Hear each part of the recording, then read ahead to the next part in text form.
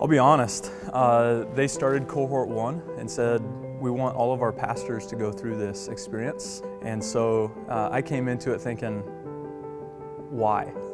Uh, the timing of it, again, thinking about just launching a campus, just beginning, um, had anxiety about all the things that I could be doing how distracted I could be with, um, am I going to be too focused on seminary? Am I going to be too focused on my job?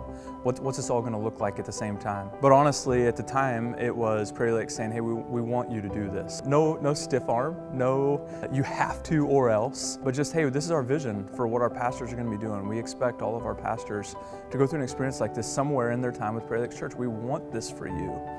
Really, really encouraging but still a lot of pushback from me for a variety of reasons. My leadership has changed in a way that now I expect transformation. I think there is opportunity for transformation all, all along the journey. Almost through every class, I would say there was a God moment.